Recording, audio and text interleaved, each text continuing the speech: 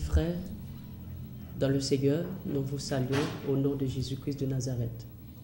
Nous sommes très heureux de pouvoir vous retrouver sur votre plateau télévision Cassivi pour vous présenter 100% évangélique, l'émission que vous aimez, l'émission qui vous dit la vérité telle qu'elle est. Donc euh, nous remercions le Seigneur, le fait qu'il nous a donné cette opportunité de pouvoir nous présenter devant vous pour vous présenter votre mission.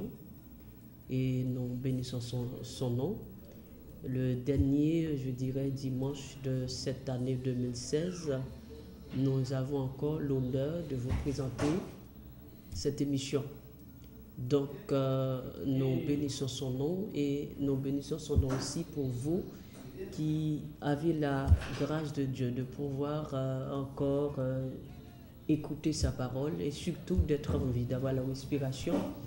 Ce n'est pas tous qui ont cette grâce de pouvoir partager la parole de Dieu et ce n'est pas tous qui ont cette grâce aussi de pouvoir entendre cette parole de vérité. Donc nous sommes réjouis de pouvoir euh, vraiment partager avec vous euh, cette parole de vérité. Donc sans plus tarder, euh, étant heureux de vous retrouver sur ce plateau, nous n'allons pas prendre plus de temps. Je sais que vous en êtes beaucoup à regarder et l'émission 100% évangélique et que vous attendez, cela fait quelques jours. Donc, je sais que vous êtes euh, devant votre télévision euh, en train de regarder. Et aujourd'hui, c'est un moment, je dirais, un peu spécial parce que nous aimerions, si toutefois, et le Seigneur le permet, que cela soit possible, euh, partager avec vous et vous aider surtout à visionner quelques faits historiques euh, qui euh, vous aideront vraiment à comprendre la parole et à surtout euh, renoncer aux traditions que vous êtes en train d'observer sans même que la Bible n'a rien dit là-dessus. Donc nous bénissons son nom et bienvenue à vous tous et vous toutes dans 100% évangélique. Seigneur, nous bénissons ton nom, nous t'adorons, nous t'exaltons. Merci pour ton amour, merci pour ta grâce. Merci parce que, euh, parce que tu as été immolé et tu as racheté pour Dieu par ton sang des hommes de tout peuple, de toute langue, de toute tribu et de toute nation. Et que tu as fait d'eux un royaume de sacrificateurs. Dieu, d'éternité en éternité, tu étais, tu es, tu seras toujours et toujours à perpétuité. Dieu, notre Dieu Tout-Puissant. Merci pour ce moment, merci pour nos frères et sœurs, merci et pour les téléspectateurs et les téléspectatrices, merci pour nos internautes qui vont regarder euh, cette émission juste après, pour nos sœurs qui sont à travers le monde, celles qui se, trouvent, qui se retrouvent seules, qui ont besoin de l'aide, de, du secours spirituellement parlant, dans les enseignements, dans la prière. Seigneur, je te prie spécialement pour ces bien-aimés, frères et sœurs qui euh, vont regarder cette émission, que ta grâce puisse les inonder, que tu puisses te révéler à eux afin que ces gens, Seigneur, puissent être vraiment confortablement et assis, Seigneur, dans ta parole, dans ton amour, puissent être demeurés dans ton amour, dans ta parole, au nom de Jésus-Christ de Nazareth. Nous savons, Seigneur, que le prophète n'est jamais honoré dans sa patrie, mais nous savons aussi que le prophète il ne peut, accomplir des prodiges qui dans les autres patries, parce que comme les disciples, les gens de la Galilée t'avaient demandé de faire un miracle, et tu avais dit que ces gens avaient demandé un miracle vous. Et donc, euh, Seigneur, tu leur avais dit qu'il ne leur pourrait donner euh, d'autres miracles que celui euh, de Jonas. Donc, Seigneur, nous comprenons par cela que tu fais ce que tu veux et que tu n'es pas là pour plaire ni faire des choses pour montrer qui tu es ou plutôt pour faire des miracles publicitaires ou des prodiges publicitaires pour montrer que tu es, tu es de Dieu et que tu viens de Dieu. Mais tu agis, Seigneur, de manière à montrer à ceux qui croient en toi que tu es vraiment le Dieu et le seul vrai Dieu. Père, merci infiniment pour ce moment. Bénis notre technicien, bénis, Seigneur, tous les moyens, Seigneur, qui... Euh, qui sont disponibles pour la réussite, Seigneur, la bonne réussite de cette émission. Père, au nom de Jésus, nous te demandons de le bénir ainsi que sa famille et que ta grâce puisse couvrir ceux qui regardent pour la première fois ou ceux qui ont l'habitude de regarder l'émission 100% évangélique. Seigneur, merci infiniment que ton nom soit béni et bénis ce moment. Et puis merci que Seigneur, les écailles puissent être tombées, Seigneur, de nos yeux, afin que nous puissions voir la lumière de la glorieuse richesse de la gloire du Christ qui est l'image de Dieu et que nous puissions vraiment, Seigneur, prendre des nouvelles décisions, non pas des décisions instantanées ou des, décisions, pas des émotions qui vont euh, juste après l'émission vont être écartées, Seigneur, mais des décisions, des oui, des, des volontés vraiment qui sont inspirées de toi. Au nom de Jésus-Christ de Nazareth. Merci pour ton amour. Merci pour nos frères et sœurs. Seigneur, je te demande surtout à nous enseigner à nous, Seigneur, qui croyons en toi, à nos frères et sœurs qui se trouvent à travers le monde, Seigneur, qui sont en Allemagne, en France, partout, en Canada, en Belgique, Seigneur, en Haïti, Seigneur, en, Guadeloupe, Seigneur. Oh, que ta grâce puisse couvrir ces gens, en Russie aussi, Seigneur, et euh, partout où se trouvent tous ces gens, nos, euh, frères africains, euh, au nom de Jésus, que ta grâce puisse demeurer dans leur vie et je t'en supplie, Seigneur, au nom de Jésus-Christ de Nazareth, nous t'adorons, nous, te glorifions, car tu es notre Dieu et nous voulons toujours être inondés par ta présence et par ta connaissance et qui euh, nous est donnée par la révélation de ta parole. Et Seigneur, nous, nous sommes dans la joie.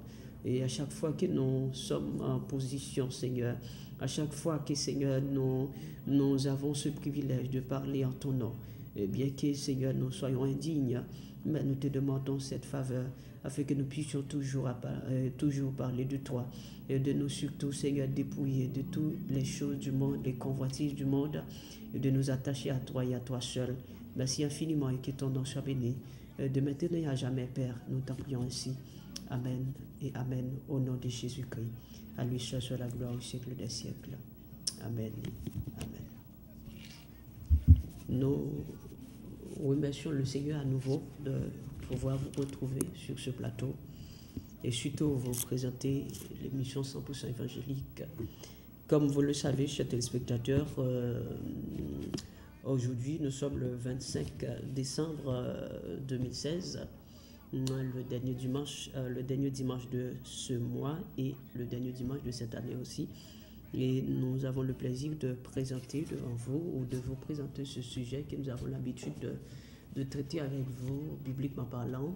Et j'aimerais que le Seigneur puisse permettre que nous puissions atteindre notre but pour cet après-midi. Et je prie à ce que le Seigneur puisse et toucher notre technicien afin que tout, et, tout puisse se passer en bien au nom de Jésus-Christ de Nazareth, car nous avons quelques faits historiques que nous voulons partager. C'est vrai, nous, avons passé du temps à partager ce sujet avec vous euh, et nous avons, je dirais, euh, euh, rentré en profondeur de la parole pour vous permettre de comprendre euh, ce qu'on appelle Noël ou le Père Noël ou je ne sais quoi, qui la plupart des gens qui se disent chrétiens. Enfin, je ne parle pas pour les gens qui sont du monde, surtout, je vous signale, je parle aux gens qui se disent ou qui disent qu'ils sont des chrétiens. Je parle à vous, je m'adresse à vous spécialement. Pour les gens du monde, je ne m'adresse pas à vous parce que vous êtes dans le monde, vous pouvez faire ce que vous voulez, vous n'êtes pas encore en Christ. Mais je parle aux gens qui ont une Bible, qui se disent chrétiens ou chrétiennes. Donc je m'adresse à vous, vous qui avez des enfants, ou en ce moment que vous euh, leur avez donné de bonnets rouges, blancs, euh, vous fêtez Noël. Donc nous allons voir surtout d'où vient ce mythe. Et comme j'avais traité ce sujet, je vous avais et, expliqué, montré que c'était euh, c'était un mythe légendaire, c'était ce n'est pas quelque chose que la Bible a prouvé, tout le monde le sait, soi-disant qu'ils ont attribué ce jour à la naissance de Jésus-Christ, qui n'est pas vrai, qui est complètement faux. Donc, euh, j'ai le plaisir de vraiment partager cela avec vous. Et je vous demande de vraiment prendre le temps d'examiner. Mais avant cela, je vais surtout faire l'introduction euh, de cette émission avant de partager avec vous tout cela. Et euh, à ce moment, donc, vous savez que c'est euh, l'anniversaire mondial et de, entre guillemets, soi-disant, naissance de Jésus-Christ, qui est complètement faux et qui n'est pas biblique non plus. Et beaucoup de gens aussi profitent le temps aussi pour euh, des gens qui se disent des chrétiens, qui se trouvent dans des bâtiments qu'on appelle l'église, qui se disent chrétiens, qui fêtent leur anniversaire aussi, qui n'est pas selon Dieu, qui est une tradition diabolique. Et vous allez voir que c'est diabolique parce que vous pouvez constater, comme euh, dimanche dernier, je ne m'en souviens pas quel dimanche, je crois que c'était euh, le dimanche euh, après que j'ai quitté la télévision parce que j'avais émission.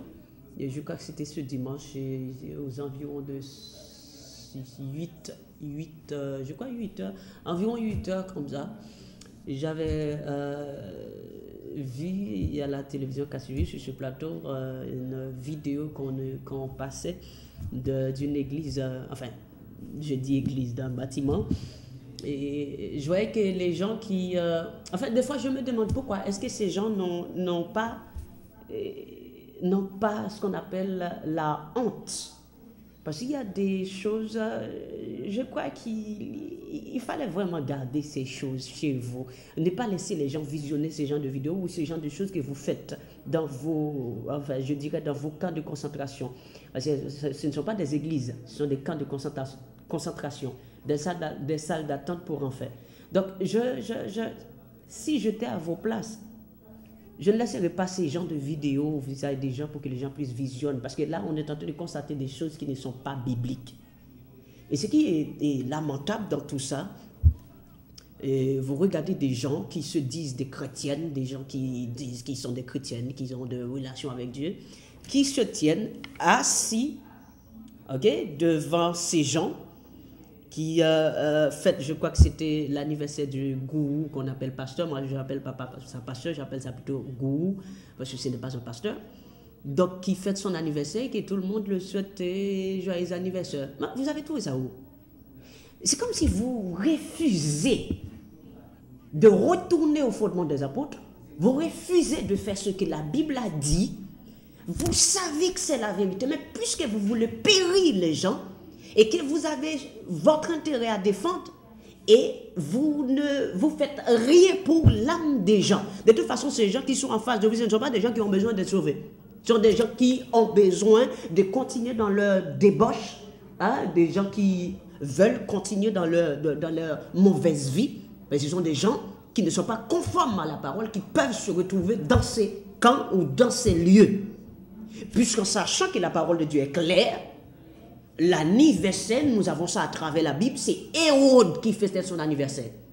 Et des cadeaux de Noël, c'était Hérode, des cadeaux d'anniversaire ou de Noël, je ne sais quoi, bon, de toute façon, on va venir là-dessus. Mais des cadeaux d'anniversaire, ce sont Hérode.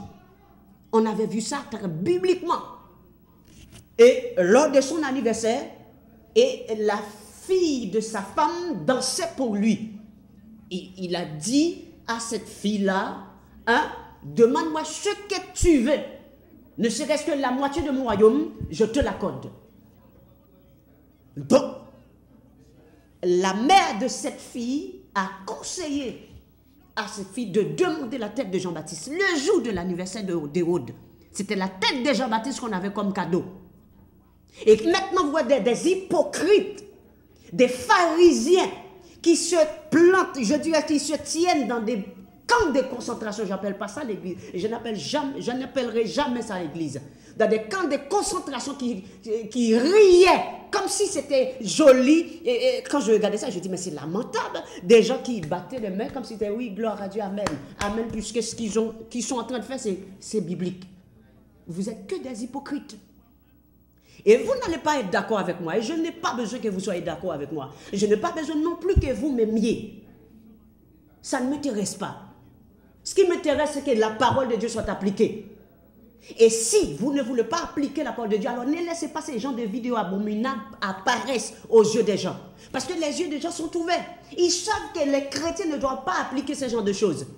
Donc, en, euh, euh, en souhaitant euh, bon anniversaire, pasteur, c'est quoi ça? Vous avez trouvé ça où? De quelle Bible? Vous êtes du monde, restez dans le monde. Vendez votre Bible, parce que votre Bible ne vous sert à rien. Vendez votre Bible, donnez la Bible à quelqu'un qui connaisse l'importance de la Bible, mais pas vous. Vous n'avez pas besoin d'une Bible. Ça fait longtemps que vous avez une Bible. Vous avez Qu'est-ce que vous avez fait avec? Rien du tout. Vous continuez à piétiner la parole, continuez à faire ce qui est contraire à la parole, et vous dites que vous êtes chrétien. Vous prenez que vous êtes chrétien. Vous perdez vos temps, frère. Vous perdez vos temps. Continuez à fêter les anniversaires, puisque vous êtes du diable, et je vais vous expliquer qui vous fêtez, avec qui vous donnez ces honneurs, en l'honneur de qui, je vais vous expliquer cela. Donc, continuez à faire. Et ensuite, dans cette vidéo, je considère une vidéo abominable, blasphématoire. Euh, euh, blasphématoire. Vous voyez des, des, des, des, jeunes, des jeunes, des jeunes, euh, des jeunes garçons, des petits enfants qui jouent comme des enfants qu'on donne à manger, qui ne savent pas comment manger, mais qui fait pipi dans le plat et qui mettent de la terre. vous comprenez ce que je dire? Donc des jeunes qui faisaient des pièces de théâtre à l'intérieur de ce camp de concentration, de ce bâtiment, de salle d'attente pour en faire. Ensuite, ils blasphèment, ces jeunes sont en train de blasphémer le nom de Dieu. Or, Dieu a dit qu'il ne faut pas citer, prononcer son nom en vain.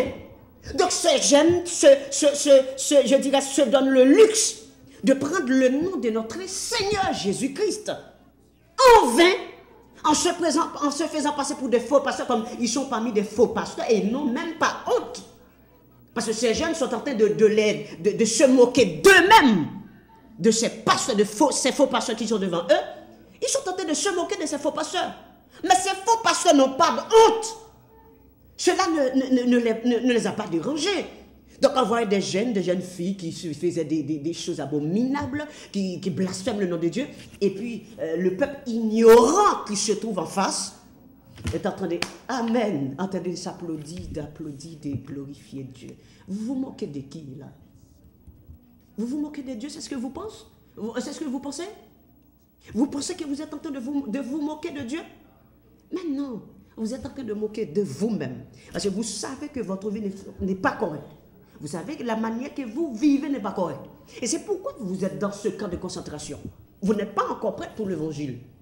Donc vous continuez à blasphémer, vous continuez à vous prostituer dans ces doctrines diaboliques. Continuez à vous prostituer, continuez à piétiner la parole de Dieu.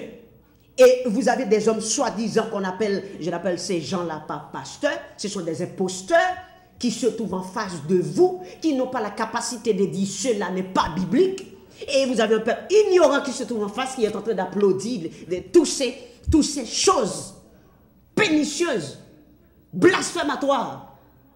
Ils sont en train d'applaudir. Donc, de toute façon, nous sommes à la fin du monde. Puisque maintenant, ils ont, ils ont, ils ont légalisé, ils ont dépénalisé le mariage entre père et, et, et fille, entre mère et fils, entre frère et sœur. C'est normal, continuez. Apocalypse 22, 11. Que celui qui est injuste soit encore injuste.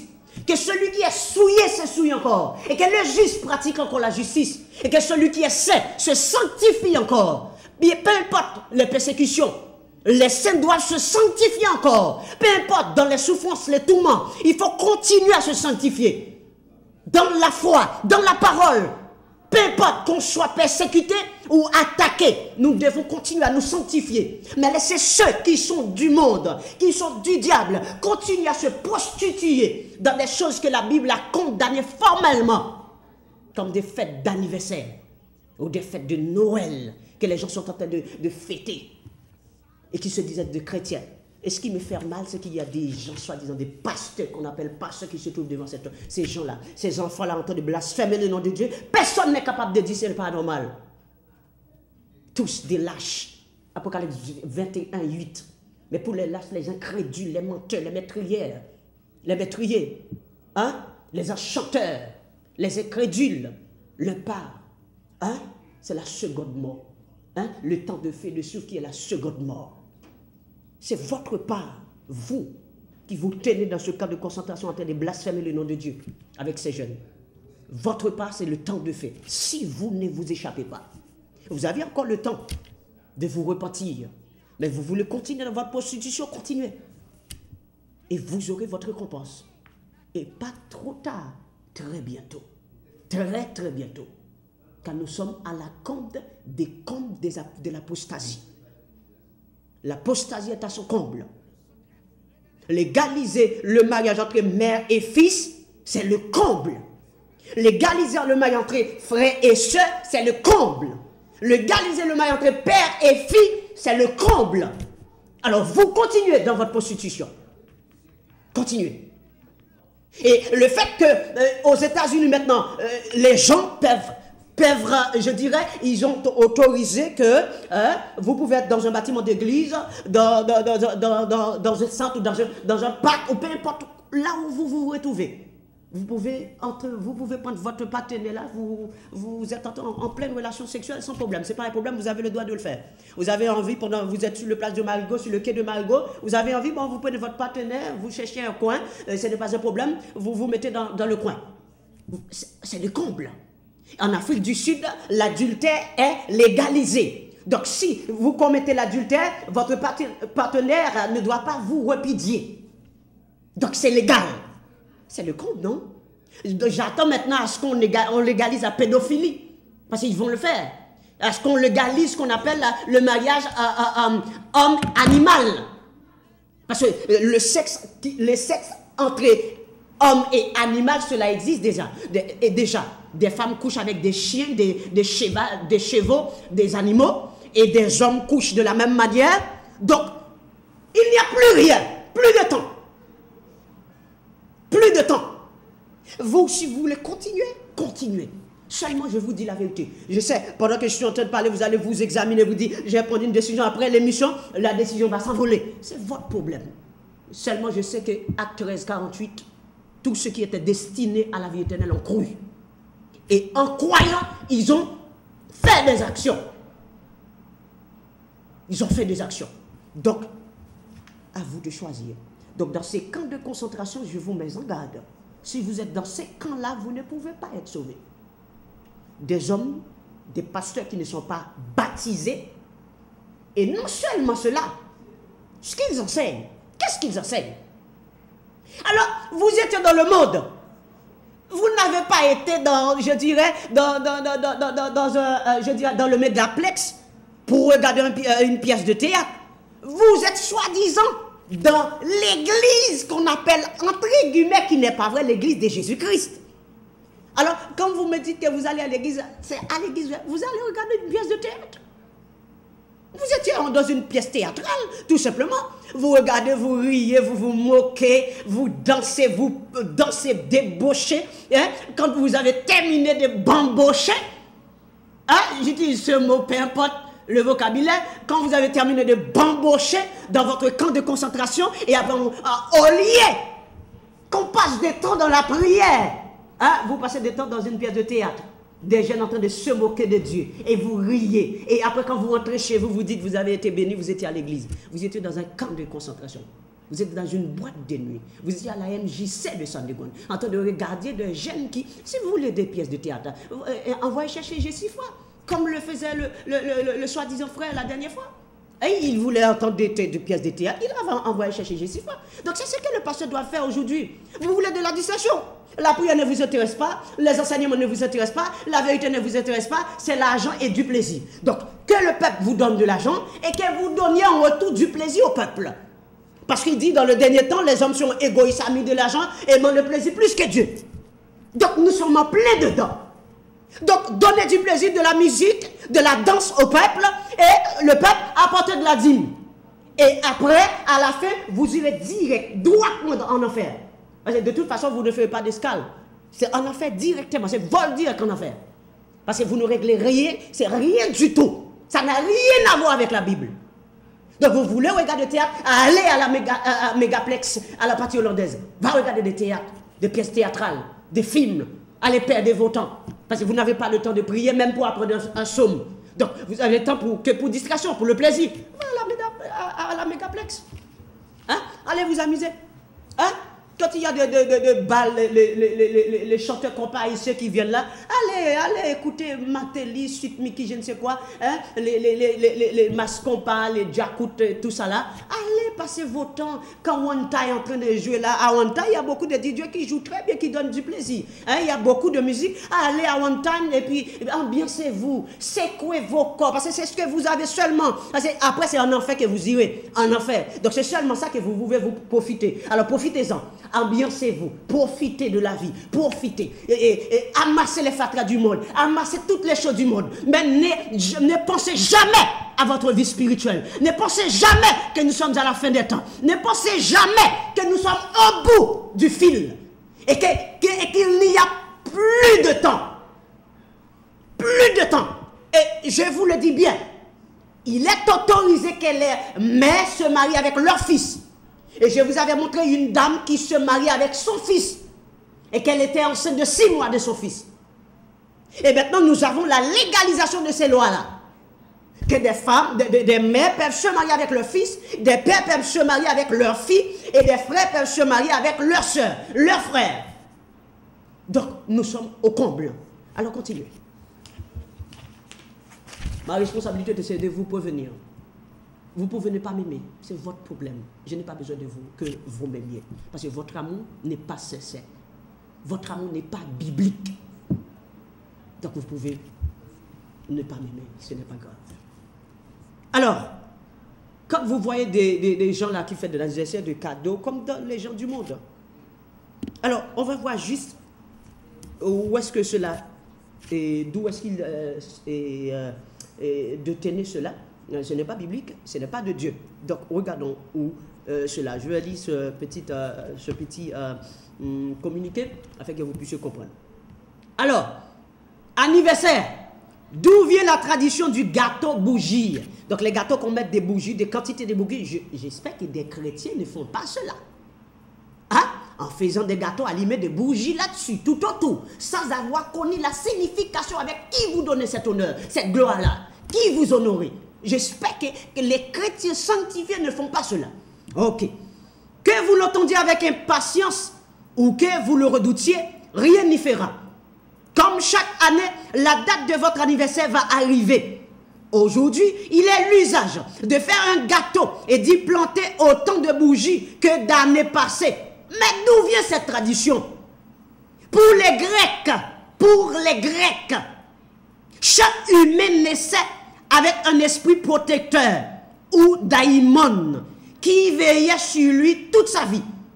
Cet esprit était en relation avec le Dieu, le petit dé, le Dieu dont l'anniversaire correspondait au jour de naissance de l'individu. Et le concept est à l'origine, hein, et le concept est à l'origine des notions d'ange gardien. Écoutez bien, le concept est à l'origine des notions d'ange gardien et de saint patron. Les saints patrons, c'est la catholique romaine. Les saints patrons. Donc ce n'est pas biblique.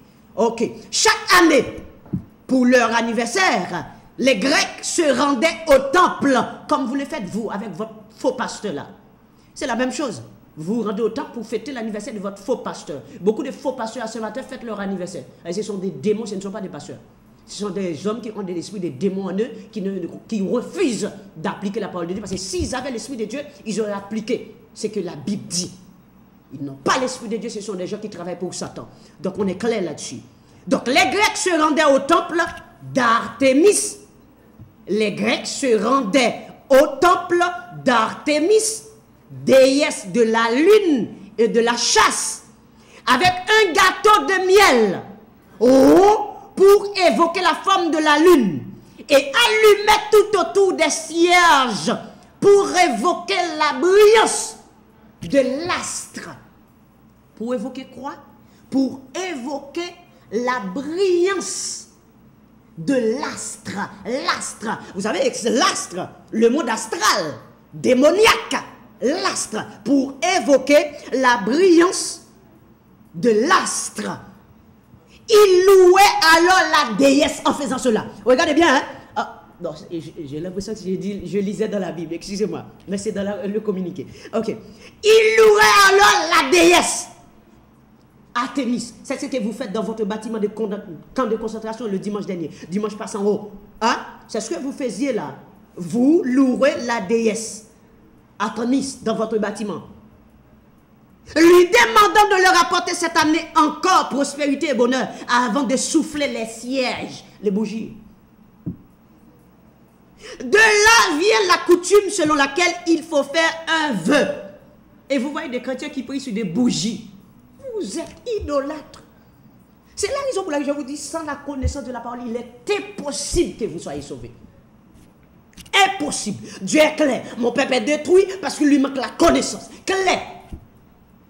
On est clair.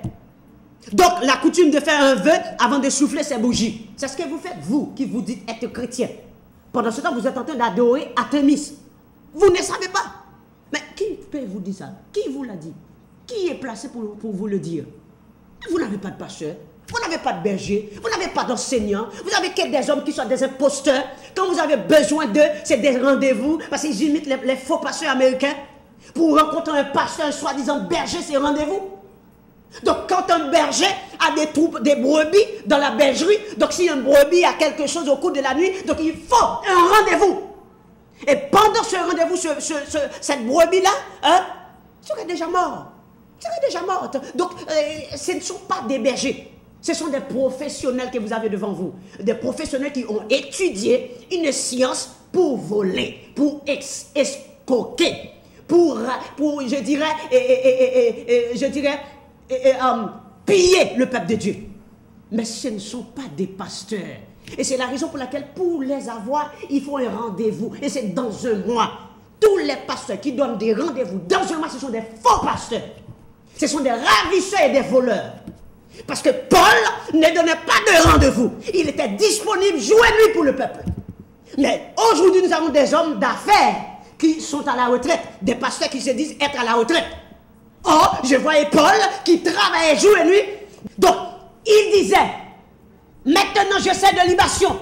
L'aide de mon départ approche. L'aide de mon départ approche. Si l'aide de son départ approche, donc cela veut dire clair il a travaillé jusqu'à sa mort. Jusqu'au moment où il est décapité. Mais maintenant, vous avez quoi?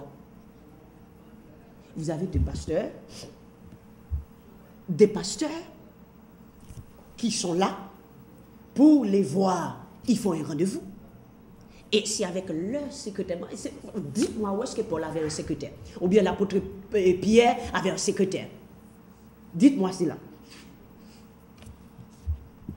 Où? Où est dans la Bible un homme de Dieu avait un une secrétaire? Ou un secrétaire, je ne sais quoi Parce que vous, pasteur, vous êtes payé. Mais la secrétaire n'est pas payée. Et la secrétaire devait être payée aussi. Vous avez des secrétaires. Ah, vous êtes, de toute façon, vous êtes des hommes d'affaires, vous n'êtes pas des pasteurs. Des hommes d'affaires. Ah, c'est pour ça que vous avez des secrétaires. C'est pour ça qu'il faut des rendez-vous. Parce que vous avez un, bâtiment qu'on appelle. C'est une entreprise que vous avez. Vous êtes des hommes d'affaires. Vous avez sur les, les, les, les, là, les annières, hein, les annières téléphoniques. Hein, vous avez tous ces entreprises-là qui sont enregistrées hein, partout. Vous voulez des numéros de téléphone. Ce sont des entreprises. Ce sont des entreprises. C'est clair. Donc si le pasteur vous dit qu'il faut prendre un rendez-vous, ce n'est pas grave parce que c'est un, entrepreneur, chers téléspectateurs. Donc il faut qu'il y ait un rendez-vous. Donc continuons, chers téléspectateurs. Continuons.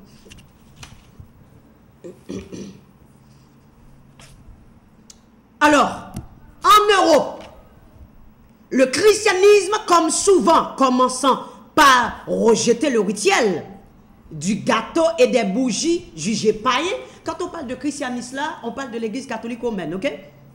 On parle de la vraie église. Parce que vous savez que dans les journaux, quand on parle de chrétiens, on parle de la catholique romaine, qui n'est pas chrétien vraiment. On est clair. Donc, on ne fêtait alors pas sa date d'anniversaire, mais le jour du saint patron dont on portait le prénom on fêtait le jour d'anniversaire de cela. Vous voyez, des fois, il y a des fêtes de ceci, des fêtes de cela, des, des, saints de l'église catholique romaine. C'est ce que les protestants ont fait de la même manière. Des fois, il y a des, eh, des conventions, c'est l'anniversaire de l'église, hein? l'anniversaire de l'église, des conventions de l'anniversaire de l'église, ou des, anniversaires de Déborah, de, je ne sais quoi, de Madoché.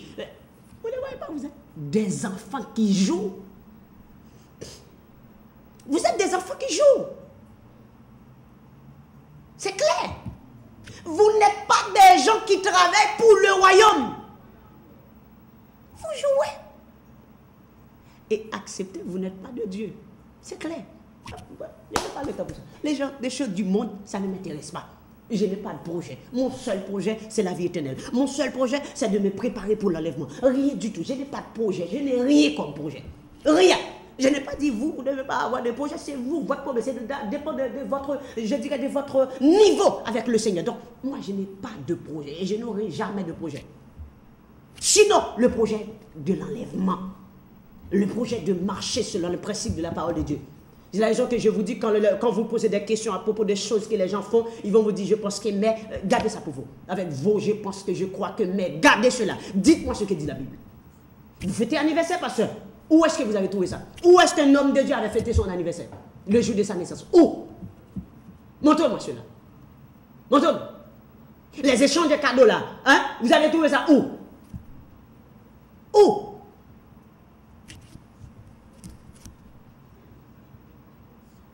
Il faut attendre le XIIIe siècle où les célébrations d'anniversaire réapparaissent en Allemagne avec euh, les um, Kinderfest au XVIIe siècle. Les protestants, notamment en Angleterre, se réapproprient à leur tour l'usage au XVIIe siècle. Mais seulement un siècle plus tard, au XVIIIe siècle, que les catholiques s'y remettent aussi. Au XIXe siècle, c'est définitivement entré dans le mœurs. Tout le monde fête son anniversaire avec gâteau et bougies.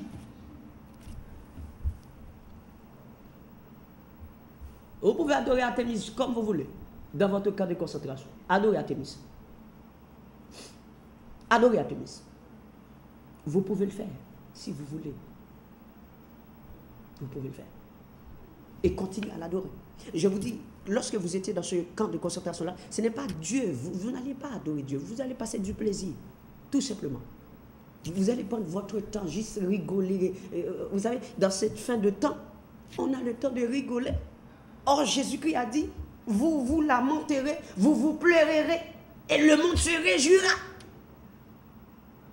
Je vois le contraire. Le monde est en train de pleurer et l'Église se réjouit. Et vous espérez la vie? Non, pas du tout. Pas du tout. Traditionnellement, la flamme est, est purificatrice et évoque la lumière, les flammes des bougies sur le gâteau, la lumière divine et protectrice, dont on, on en posait une sur le gâteau afin d'éloigner le mauvais œil, porter chance pour l'année à venir à celui dont on célébrait la naissance. Sans doute l'histoire d'augmenter un peu la protection, le nombre de bougies passa progressivement de une à plusieurs jusqu'à évoquer le nombre d'années de vie.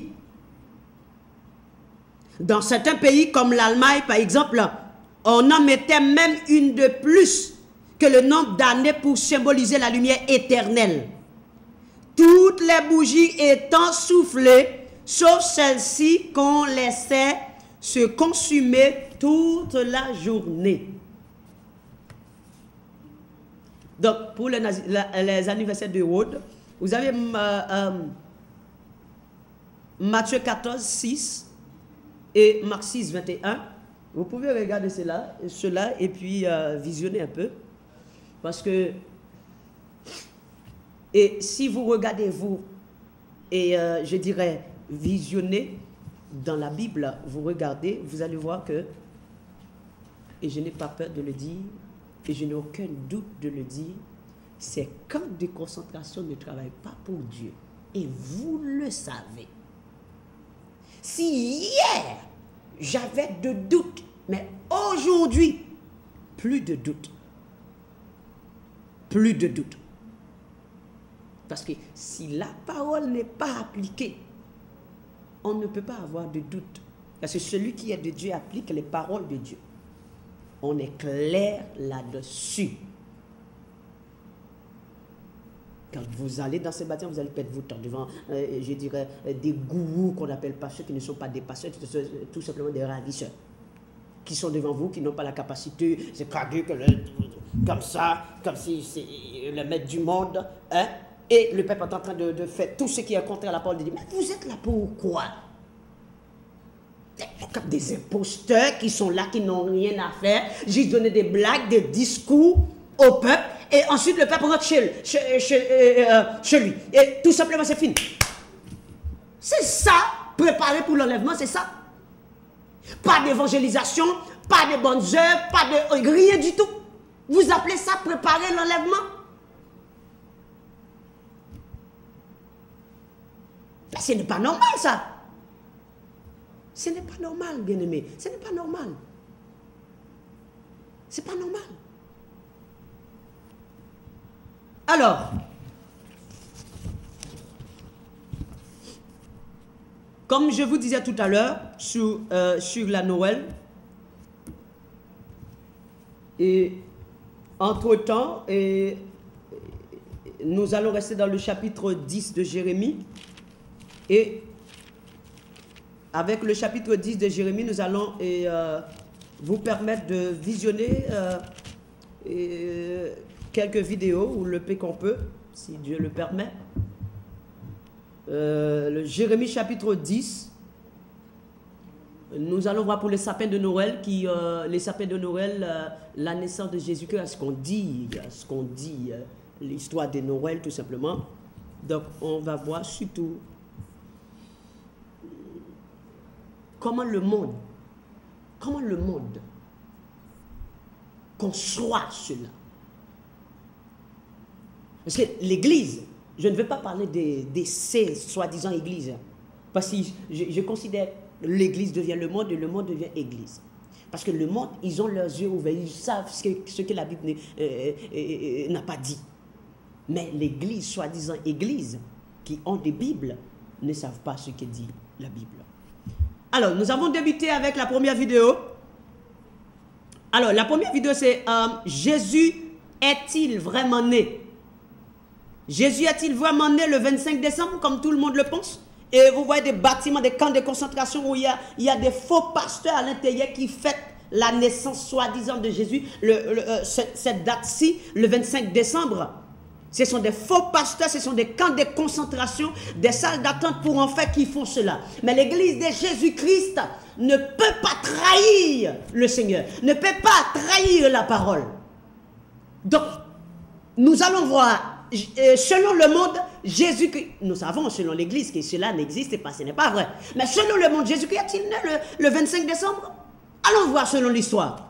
Donc regardons, Jésus est-il vraiment né le 25 décembre? Et nous, nous reviendrons tout, euh, juste après.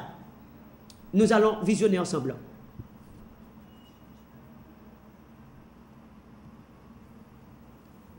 Je ne sais pas s'ils sont déjà prêts pour euh, les vidéos. Jésus est-il vraiment né le 25 décembre?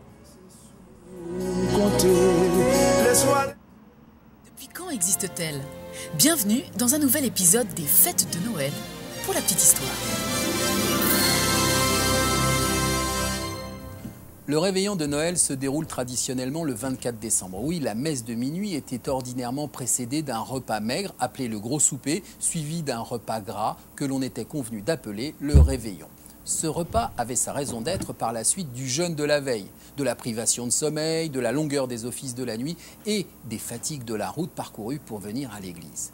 Il était donc de tradition de festoyer à Noël avec plusieurs entrées chaudes et froides et surtout d'avoir un plat à base de volaille. Oui, jusqu'à l'arrivée sur nos tables de la devenue mythique d'Inde, on mangeait essentiellement des oies car elles représentaient l'oiseau solaire qui garantissait protection et prospérité à ceux qui en mangeaient. On doit la découverte de la dinde à Christophe Colomb et aux autres conquérants des nouveaux mondes partis de l'autre côté des océans qui tombent nez à bec avec ce gallinacé. Au XVe siècle, cette volaille n'existe pas en Europe. Les conquistadors la décrivent d'ailleurs ainsi des poules grosses comme des pans, avec des plumes comme une sorte de laine. Et tout naturellement, parce que les colons pensaient avoir accosté en Inde, ils revenaient donc sur le vieux continent avec la poule d'Inde, qui au fil des ans est devenue simplement une dinde. Dès lors que la dinde arrive en Europe, on est en droit de se demander comment a-t-elle pu détrôner loi des menus de Noël. Plusieurs explications s'offrent à nous. Tout d'abord, la dinde représentait un volatile exotique qui, du fait de sa rareté, devait être dégusté en temps de grandes fêtes. Les premières dindes mangées en France sont attestées en 1549 lors d'un banquet donné à Paris en l'honneur de Catherine de Médicis et en 1570 lors du banquet de noces du roi Charles IX.